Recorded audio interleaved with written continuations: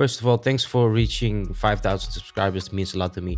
And in this video, I will explain how I find high resolution images that I use for compositing and creating digital art. So stick around until the end so you understand everything how I do this. I start working on a project or create a design or whatever, I start with finding the best possible quality images for that. So I have a couple sites that I use when I open up my browser for internet.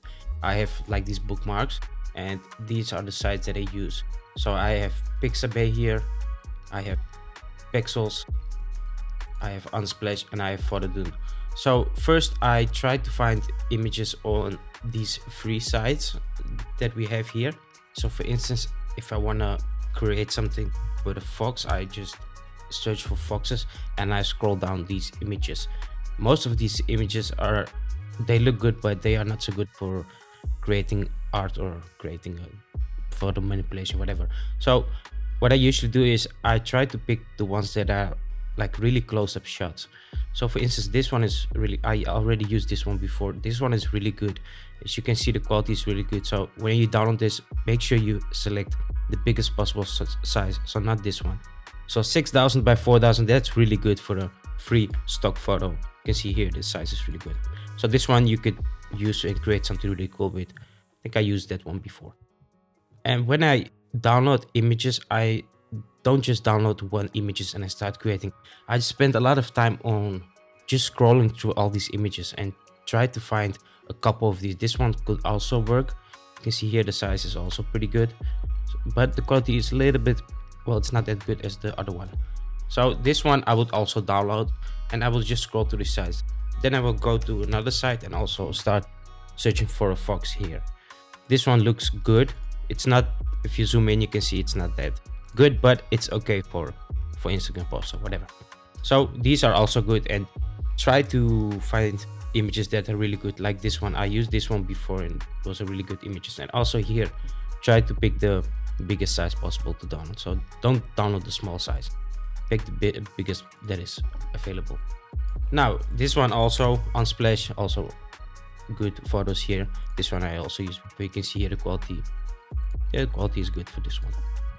Now, next is Photodune. When I can't find images for a composite or if I have something in mind that I want to create something, if you search on Photodune, the quality here is even better. But Photodune, I don't take photos that are like in nature. Photodune, I take photos that are taken in the studio, like for instance, something like this. These are really good quality. And the good thing about this is you don't have to take like a monthly subscription or something like I think Shutterstock has a monthly thing that you pay like for 10 images or something. That's why I never use Shutterstock. I only use Photodune. Here I can just buy one photo. Sometimes the photo is even like $5 and it's not much if you need something really, really for something for a project and you cannot find it on the free stock website. Just go to Photodune and well, if you want to spend money in a photo, it's I think it's a good investment because if you work for clients or something like that, it's always good to have the best possible quality. So these are actually the only sites that I use to find images for my main subject in a composition. But for things like if I want to have like trees or something or rocks in a composition, I never use, well, I barely use these sites because I need to spend time on cutting them out and it's really boring to do. So what I usually do is I just go here, Google images and search 3D PNG. And if I go to images, I have all these images of of trees and stuff like that and i don't have to spend time on cutting them out especially when you have like leaves or something leaves png you can place these on the foreground and blur them out and you won't even recognize the original photo so don't spend time on cutting these out in in photos from sites like this because if gonna search here for for tree you will find good images to use but it's gonna take time to cut them out and stuff like that so don't do that all right, next thing is when you have, this is a good example for this. When you have, uh, you want to blur out the background, try to use images like this. You can see here the background is blurred out.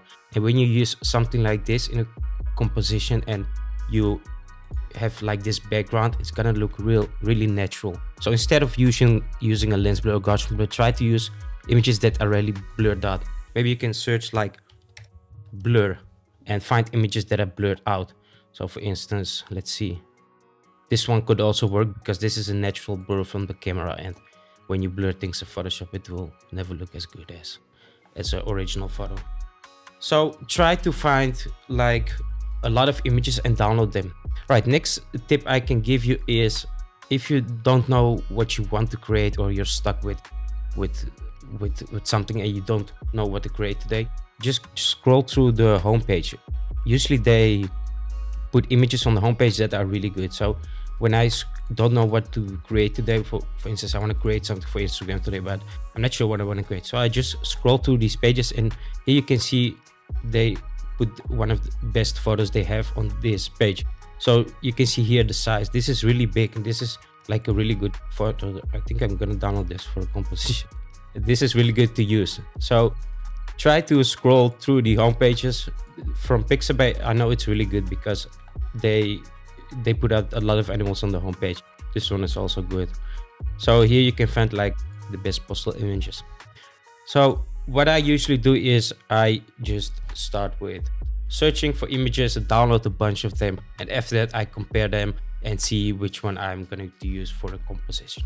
So that's pretty much it. That's really easy to understand. And don't use photos like let's see if you for instance want this photo to use and you see here it's less than 2000 pixels or sometimes even less than Uh, a thousand pixels or something like that don't use that it's too small it's better to have a, a really big photo after that resize it to smaller size and use that one because the bigger the better and it's sometimes i know it's difficult to find really good photos but sometimes I even spend more time on scrolling through all these images instead of designing itself.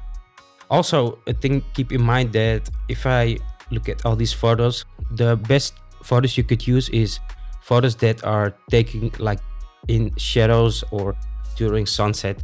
So don't use photos like this one. You don't want to use this one because this is taken at daylight and daylight photos are really difficult to create something good. So if you from the start start with a photo that is bad quality or taken during daylight, it's gonna be really difficult to create something good with it. And at the end, you will notice that you're just gonna spend a lot of time on it and you cannot create something good with it because you started with a bad photo. So the most important thing is to start with a good photo. If you don't have a good photo, the composite will look well. It's not gonna look good.